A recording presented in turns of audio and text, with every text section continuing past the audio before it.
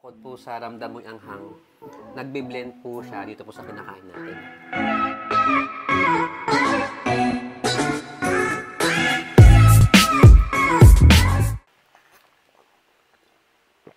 A few inches later.